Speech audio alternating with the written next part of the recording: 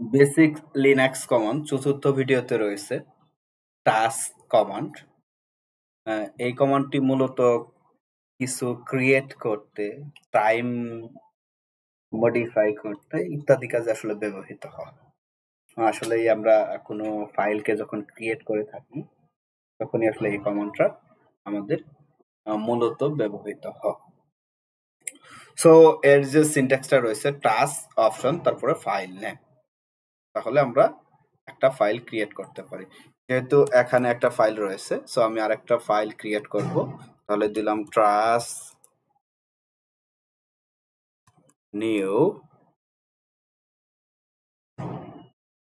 File one তাহলে আমরা দেখব একটা ফাইল আমাদের ক্রিয়েট হয়ে গিয়েছে।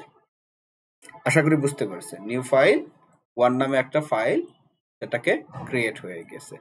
যদি আমরা মাল্টিপল ফাইল ক্রিয়েট করতে চাই, একসাথে অনেকগুলো ফাইল ক্রিয়েট করব। তাহলে এটাকে আমি টু দিব। যেহেতু ওয়ান অলরেডি রয়েছে একটা এক্সিস্ট রয়েছে সো এটাকে আমি টু দিব। ফাইল টু এটাকে আমি থ্রি দিব।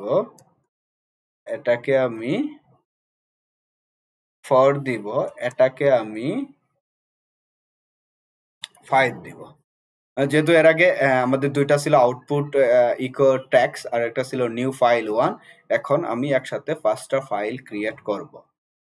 So just okay hit enter so এখন যদি আমি এলএস করি, তাহলে কিন্তু আমার মাল্টিপুল ফাইল একটা কমান্ডেই তৈরি হয়ে গেল। আশা করি বুঝতে পেরেছেন। মাল্টিপুল ফাইল কীভাবে তৈরি করতে হবে সো এরও বেশ কিছু বেসিক এন্টিটি রয়েছে ট্রাস্ট কমান্ডে সো যদি আমরা একটু চেক করে দেখি। trust command okay, trust command like that, a তাহলে কি হবে? আমরা একটু দেখে আসি। মেন ট্রাস্ট তাহলে এখানে আমরা বিস্তারিত বিষয়গুলো পাবো। এতে কি হবে? এতে চেঞ্জ অনলি অ্যাক্সেস টাইম এতে কি? চেঞ্জ অনলি অ্যাক্সেস টাইম দিতে নো ক্রিয়েট ডিতে হচ্ছে ডেট স্ট্রিং আকারে এফতে হচ্ছে ইগনোরেট আর এইচ হচ্ছে নো ডিফারেন্স আর এমপিসি চেঞ্জ অনলি মোটিফিকেশন ট্রাই তো এই বিষয়গুলা আসলে টাস্কে ব্যবহৃত হয়। এই জন্য বলেছিলাম টাস আসলে মূলত কিছু ক্রিয়েট করতে অথবা মোটিফিকেশন করতে আমাদের ব্যবহৃত হয়। তো আমরা কথা না কাজে যাই। আমি কিউ দিয়ে সেটাকে কুইট করে দিব।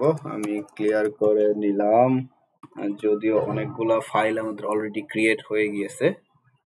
সো একটা ফাইল আমরা ক্রিয়েট করব ট্রাস minus A new five new five five হচ্ছে সিক্স তাহলে আমরা দেখব একটা সিক্স ফাইল ক্রিয়েট হয়ে গিয়েছে। তো, আমরা যদি এই কমান্ডটা অলরেডি দিয়েছি আমি যদি এটাকে শু করতে চাই তাহলে আমরা কীভাবে শু করতে পারি?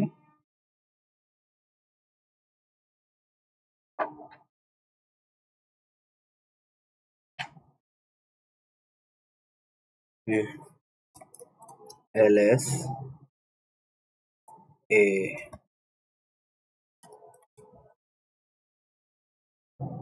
আগেও দেখানো দরকার ছিল যে সিক্স ফাইলটা আসলে মূলত কত টাইমে সেটা মডিফিকেশন হয়েছে।